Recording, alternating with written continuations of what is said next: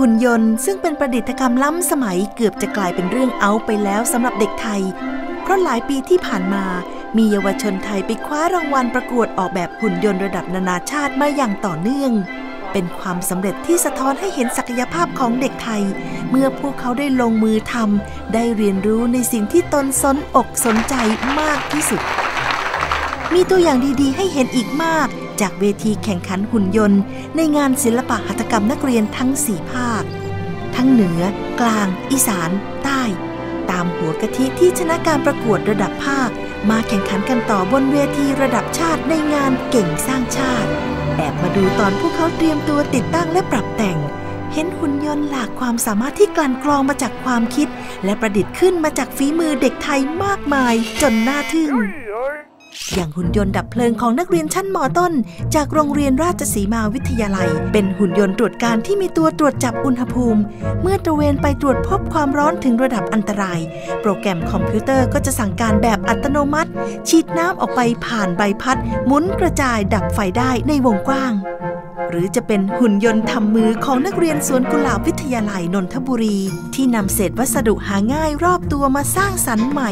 กลายเป็นหุ่นยนต์ประจำครัวเรือน ที่ช่วยแบ่งเบาภาระงานบ้านหลายประเภทได้ พร้อมไปกับเป็นยามกันขโมย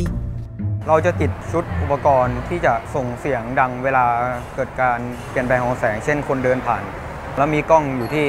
ตาขวานะครับ ไว้จับภาพไว้เป็นหลักฐานได้ เพราะว่า คนส่วนใหญ่จะใช้เวลาอยู่นอกบ้านกันมากกว่าเดิมครับ ก็เลยคิดหุ่นยนต์ตัวนี้มาเพื่อ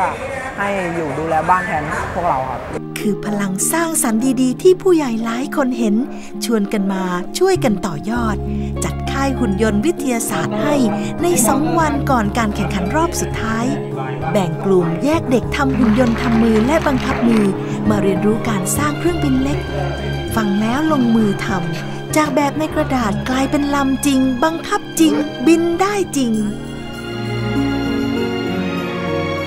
ครับเพราะว่าหุ่นยนต์สร้างขึ้นมาได้ก็คือจินตนาการนะครับว่าหุ่นยนต์จะต้องมีล้อกี่ตัวเคลื่อนที่แบบไหนนี่มาจากจินตนาการนะครับแต่ถ้าเราสร้างโมเดลขึ้นมาแล้วนะครับสร้างจากจินตนาการ จากนั้นใส่ปัญญาเราเข้าไปด้วยคือใส่โปรแกรมเข้าไปด้วยหุ่นยนต์ก็จะชันฉลาดมากขึ้น ก็ทำงานได้ตามที่เรามุ่งหวังครับ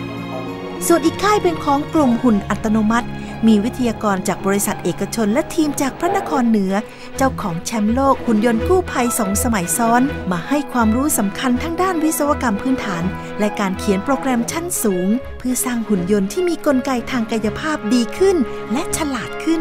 อย่างเช่นหนูรู้รู้แค่ภาษาเบสิกใช่ไหมคะ แต่ว่ามาค่ายนี้เขาจะมี